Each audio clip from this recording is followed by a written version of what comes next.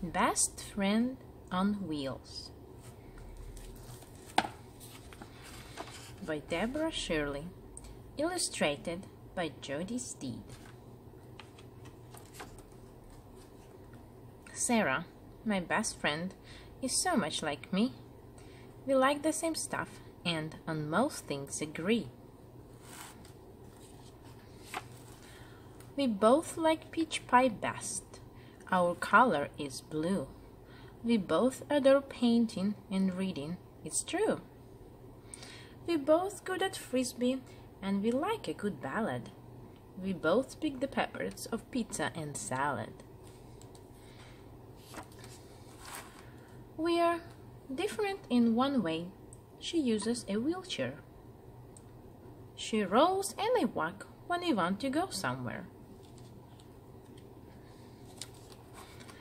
We met when my second grade teacher, Miss Poole, suggested I show the new girl around school. Sure, I would be glad to. So, when do I meet her? She is on her way now, said Miss Poole. Let's go greet her. When I saw she was using a wheelchair, I froze. I fidgeted, twisted, and stared at my toes. I was so nervous. I stammered and stuttered. I might say the wrong thing, I thought, so I muttered. I wanted to get a good look at her chair, but it felt like a jerk, so I tried not to stare. I looked all around till my eyes came to rest on a shiny round button she wore on her vest.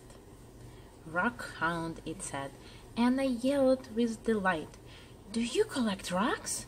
And she grinned, Yes, that's right. So do I. I have crystals. I practically squealed it. I have a rock tumbler, she said, and that sealed it. The first time I stayed at her house overnight, after movies and popcorn and a wild pillow fight, it's hard to believe, but I actually said, I would be happy to help get your wheelchair in bed. But Sarah said, Silly, that's not how I do it. I slide off my chair into bed. Nothing to it. We ended up staying awake till midnight. We hid under the covers and read by flashlight. We told spooky stories until we got scared. Then we each chose one page of our diaries and shared. Ever since then, we have been thicker than glue. I have found out she does everything that I do. We love making scrapbooks. We are great at cartooning.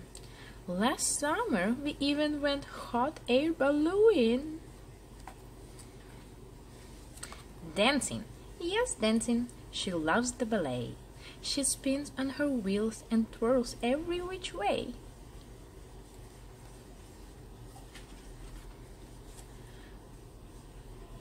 We're peas in a pod, we hear everyone say, when we hang out together almost every day.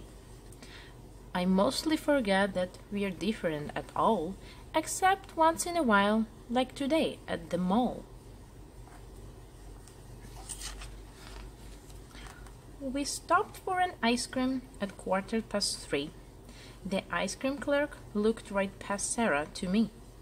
The clerk was so nervous. She stammered, she stuttered.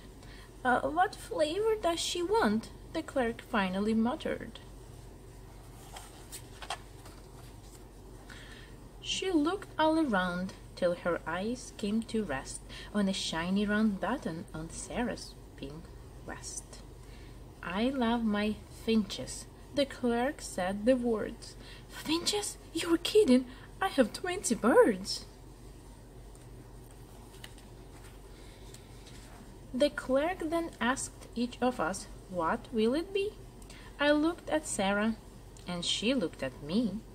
Now, Sarah and I, we are twin sisters at heart, except for one huge thing that sets us apart.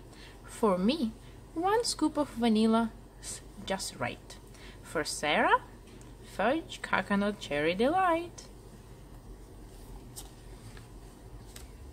Ok, so on ice cream we might disagree, but really we're birds of a feather, you see.